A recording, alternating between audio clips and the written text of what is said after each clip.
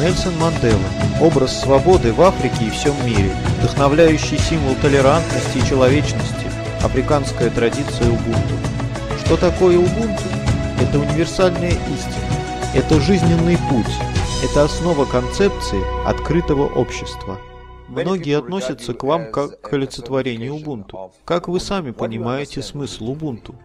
Раньше, когда я был молод, путник, путешествующий по стране, мог остановиться в деревне, и ему не нужно было просить еды или питья. Если остановился у них, люди давали ему еды, принимали как гостя.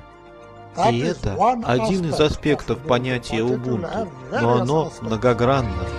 Убунту – уважение, личный вклад, соучастие, сообщество, забота, доверие, бескорыстие.